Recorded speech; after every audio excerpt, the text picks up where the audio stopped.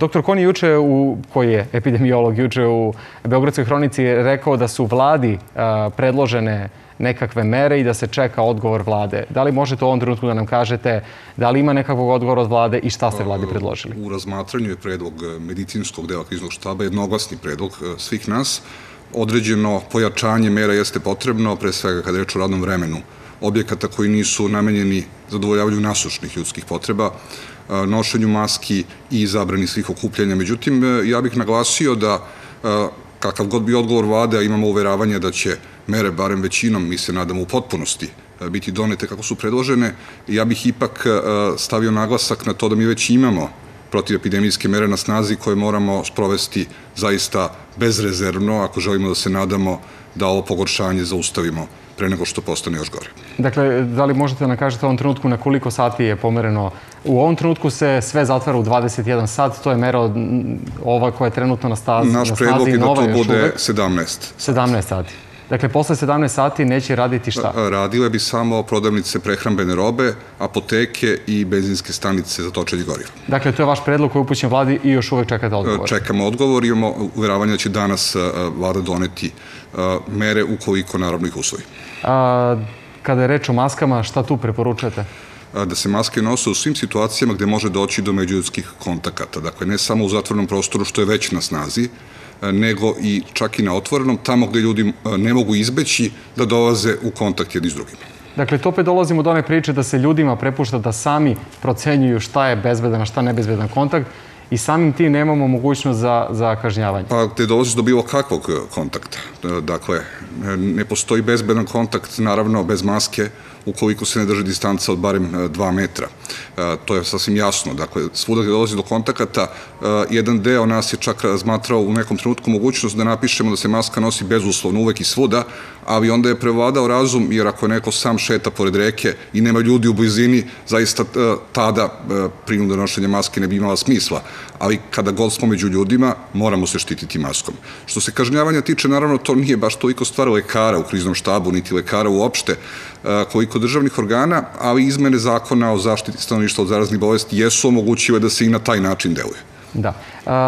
Postojeće mere kažu da se sve zatvara u 21 sat.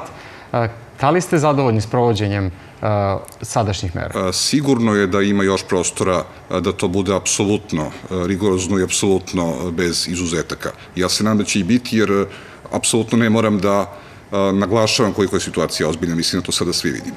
Da, spominja se među ljudima politijski čas kao jedno od rešenja, neki, neki to priželjkuju, neki, neki ga se pribojavaju. Da li ste vi o tome razgovarali? O tome se mnogo više priča, kako kažete, među ljudima, mnogo više se o tome spekuliše, nego što je to predlog bilo koga u kriznom štabu, uopšte nismo razmatrali tako nešto, niti bi to bilo neophodno, jer ako se ove mere koje smo predložili sprovedu, bilo šta slično policijskom času postaće samim tim izlišno, odnosno neće nikada ni biti potrebno.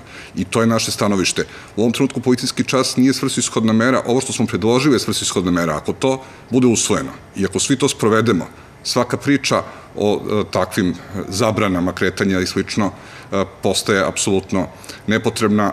Mi to ne predlažemo, mi predlažemo samo da ljudi izbegavaju situacije gde dolazi do zaražavanja. Dakle, Svi to možemo da postignemo i mere su tome usmerene da se okupljanja, što je više moguće naravno, odlože za neko bolje vreme, spreče, kontrolišu, da ljudi dolaze u kontakt samo tamo gde to ne mogu da izbegnu zbog, svojih nasušnih životnih potreba. I ja bih još jednom naglasio, i evo imamo i trodenu žalost, to se poklopilo, kako se to u životu uvek poklapa, neka nam i to bude jedan povod više da se zapitamo šta sve možemo da učinimo da zaštitimo sebe i druge, što naravno je i najljudskije i najhrišćanskije što možemo da učinimo. Da, pre nego što da spomenemo i sahranu samog patrijarha, moram da vas pitam a, zbog čega juče nije bila održana konferencija za medije? Upravo time što nije održana konferencija, dali ste na neki način prostor i medijima, a i građanima da nagađaju koje su to nove mere i da zato se i razgovara, zato se ljudi pričaju u policijskom času, ne zbog toga što... A, naravno, uvek kada postoji neizvesnost e, oko nečega, spekulacije narastaju, nama jeste stalo da se što pre donesu mere i mi se jesmo to založili.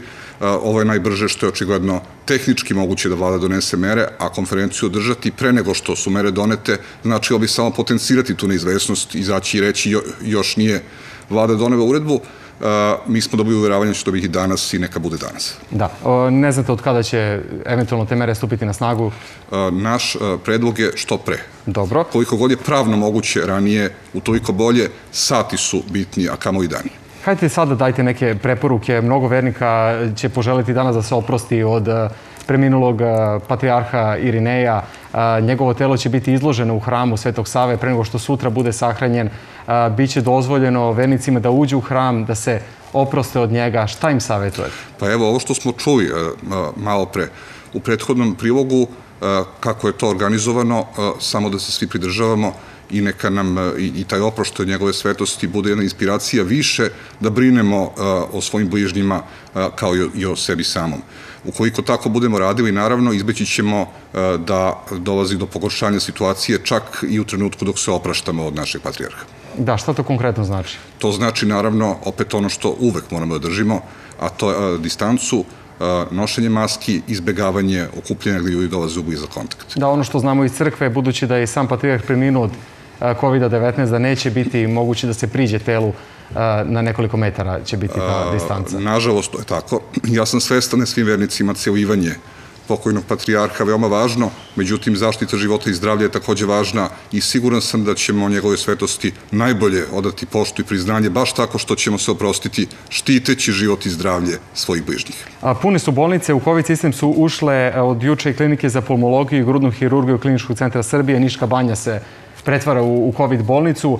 Ukoliko se nastavi sa ovakvim, iz dana u dana obaramo te, te, taj neslavni rekord, ukoliko se nastavi još koliko će zdravstveni sistem moći da izdrži, šta vi znate o stanju u našim bolnicama o, i uopšte o stanju naših zdravstvenih radnika? Svi kapaciteti su naravno uh, upošteni do svog maksimuma. Naravno, bolnice se otvaraju uh, kao dodatni kapaciteti koji god je moguće, ali i broj ljudi i broj ljudi koji su trenutno u mogućnosti e, da pomognu ovima jeste ograničenje, pogotovo što se i radnici ipak takođe zaražavaju, e, ispadaju iz stroja e, u ovakvoj situaciji, premor je takođe veliki problem. Dakle, svi daju svoj maksimum i ja mislim da svi možemo da pomognemo i kao građani da se situacija popravi, da bude lakše i radnicima da izdrže ovaj udar, tako što ćemo smanjiti e, sve mogućnosti da se e, broj zaraženih poveća, to znači izbegavati sve situacije gde se možemo zaraziti ili gde možemo nekoga zaraziti. Da, sve više je zaraženih, ali sve više ljudi se testira. Dakle, više od 19.000 testiranih u prethodnom danu, najviše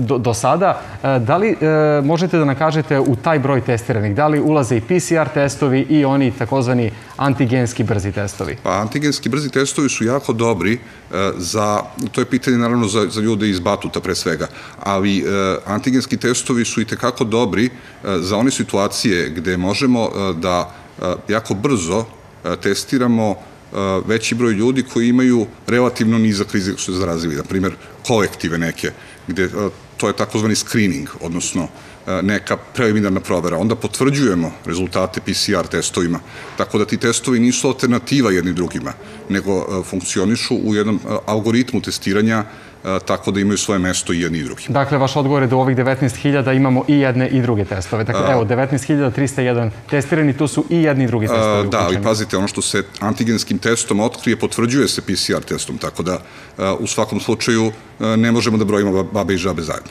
Pa da li ovih 19.000 jedno i drugo? Ne razumem. oni koji se antigenskim testom otkriju, potvrđuju se naknadno PCR testom, tako da su to osobe koje su obolele od COVID-19 i dalje vas ne razumijem, 19.301 osoba u prethodnom danu testirana. Da li su to PCR testovi, Koliko je meni poznato, svako ko je potvrđen PCR testom se smatra uh, konačno pozitivnim od COVID-19. Dakle, imamo 19.000 uh, uh, i nešto pozitivnih. dobro, dobro. Hvala vam najlepše na ovom gostovanju u ovom programu.